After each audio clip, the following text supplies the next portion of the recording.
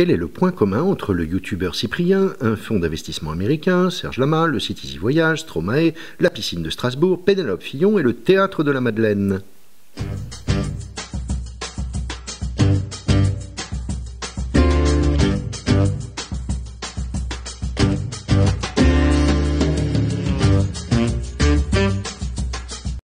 Fimalac est une remarquable illustration de ce qu'est aujourd'hui l'entreprise, et c'est ce qui va nous intéresser dans cette vidéo. Quatre points vont retenir notre attention. Le groupe, les composantes du groupe, les avantages que l'on peut tirer de cette organisation et les critiques que l'on peut lui adresser. Le premier enseignement, c'est que l'entreprise, ce n'est pas une entité, une société c'est un groupe constitué d'un ensemble de structures ayant chacune une finalité précise. S'agissant de Fimalac, on doit être proche des records parce que le groupe est constitué de pas moins de 70 entités distinctes. La société se présente comme ayant cinq secteurs d'activité principaux. Le capital investissement, le spectacle vivant, le digital, l'hôtellerie et le loisir, et enfin l'immobilier. La réalité est plus complexe. Fimalac, c'est un mélange entre un fonds d'investissement et un groupe industriel. C'est un conglomérat évolutif qui se transforme au gré des opportunités, des réussites et aussi des échecs. C'est la raison pour laquelle il n'y a pas de lien réel entre les différentes composantes du groupe. Et c'est d'ailleurs cette idée d'opportunité que Marc Ladré de la Charrière, le fondateur du groupe, mettait en avant dans une conférence qu'il a donnée en 2018 avec le youtubeur Cyprien. Écoutons-le. Savoir d'être à l'écoute du terrain et quelque part, j'ai plutôt eu la chance dans ma vie professionnelle euh, d'avoir euh, la possibilité de, sentir ce qui allait se produire, de sentir ce qui, les choses et les métiers de demain je prends deux exemples. Par exemple, euh, nous étions les seuls en France à penser que les Français pouvaient faire une agence de notation, de rating, et nous avons réussi à faire la troisième agence mondiale avec Fitch. De même, nous avons senti euh, que nous pouvions faire dans le domaine du digital une très grande affaire, et on nous a laissé faire hein, le leader européen du média digital avec une vocation mondiale avec Webedia.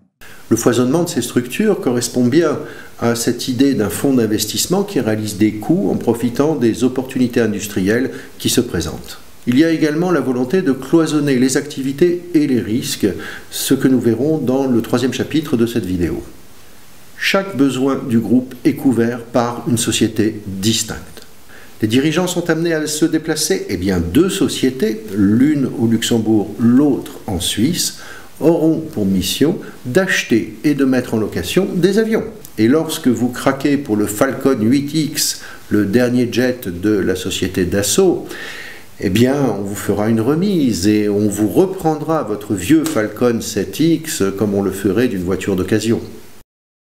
Ce foisonnement de structures s'explique aussi par la volonté de capter l'ensemble des bénéfices d'une activité. Il ne s'agit pas seulement d'être présent sur un métier, mais sur toutes les activités qui sont associées à ce métier, afin qu'aucun profit n'échappe au groupe. Prenons l'exemple de Webedia. C'est la filiale web de Fimalac. Elle compte plus d'une vingtaine de filiales et sous-filiales. Le numérique est un champ très vaste. Webedia, à l'origine, s'est d'abord développé avec les youtubeurs, les artistes du web. Mais pourquoi passer à côté d'autres sources de profit? Avec Top Chef, la cuisine est à la mode. Eh bien voici l'Académie du goût. Le e-sport se développe. Voici Webedia Gaming.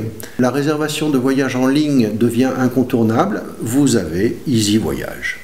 Aucun profit ne doit échapper au groupe. Prenons les casinos et l'association avec la famille de Seigne Barrière. Comme à Las Vegas, les joueurs vont avoir besoin d'une chambre et de se restaurer. L'Alliance va donc investir dans les casinos, mais aussi dans des hôtels de prestige comme le Majestic à Cannes et dans des restaurants. Les joueurs paieront ainsi leur dîme à Fimalac à chaque étape de leur séjour. À l'intérieur même d'une activité, Fimalac va chercher à en tirer un maximum de profit. Prenons les youtubeurs. Que faut-il pour être youtubeur? Eh bien d'abord, il nous faut des youtubeurs la société TalentWeb va représenter les intérêts de Cyprien, de Norman, de Natou et de Michel Simès aujourd'hui. IDZ Productions, autre filiale de Webedia, va tourner les vidéos des youtubeurs et de quelques rappeurs comme Big Flo et Oli. Il faut ensuite que les annonceurs placent leurs produits auprès de ces influenceurs. Là aussi, Talent Agency hier, Sampleo aujourd'hui, vont s'en charger.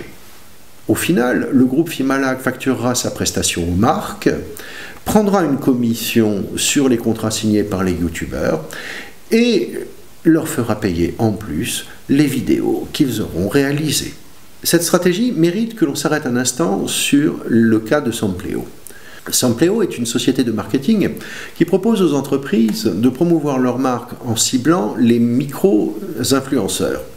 Qu'est-ce qu'un micro-influenceur? Eh bien, c'est un internaute dont la notoriété est modeste, mais qui va être déterminant dans la décision d'achat de sa sphère d'influence et qui va participer à la création d'un buzz, d'une rumeur médiatique qui va promouvoir la marque.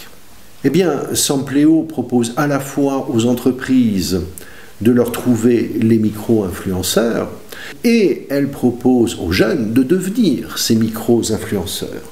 Elle envisage même de créer Talent Web Academy qui proposera une certification et des cours en ligne pour devenir influenceur. De quoi faire rêver les jeunes en mal d'avenir. Et Fimalac applique la même recette au spectacle vivant. Que faut-il pour faire du spectacle vivant? Il faut des artistes et il faut des salles. Espace euh, va gérer un nombre considérable de salles de spectacle en France, de théâtres et même d'enceintes sportives. Et puis, Fimalac Entertainment va gérer les artistes. Il manque toutefois un troisième élément déterminant dans le spectacle, la créativité. Et la créativité, Fimalac ne l'a pas nécessairement.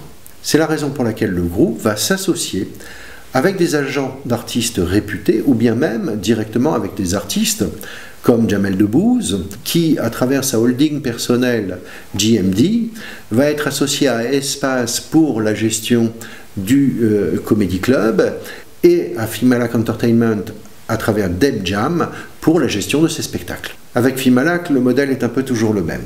Marc Ladré de la Charrière, avec sa holding, apporte l'argent et ses partenaires apportent les idées et la connaissance du métier. Concrètement, il n'y a que quatre niveaux hiérarchiques pour organiser ce groupe. Au premier niveau, la holding va assurer le contrôle de l'ensemble des activités. Au second niveau, une filiale, Webedia, Fimalac Entertainment, va assurer le contrôle opérationnel d'une branche d'activité. Le troisième niveau a deux finalités selon les situations. Soit il constitue un niveau de filialisation qui permet à Fimalac d'exercer une compétence métier lorsqu'il en dispose. Soit, si ce n'est pas le cas, il permet à Fimalac de s'associer avec un spécialiste métier. C'est le cas en particulier dans le secteur du spectacle vivant, où les relations interpersonnelles, ce que les juristes appellent l'intuitu personné, euh, sont déterminantes. Dans ce cas, on trouve un quatrième niveau qui va permettre d'avoir l'exercice de la compétence métier. Ce foisonnement de structures, sans lien nécessairement entre elles, c'est ce que j'appelle une organisation en modèle de Calder, par référence à l'artiste Alexander Calder. Chaque partie du groupe semble pouvoir agir de façon autonome, mais cette autonomie est dictée par l'intérêt des autres composantes du groupe et au final, par les décisions de l'actionnaire principal, Marc Ladré de la Charrière, qui supporte le groupe.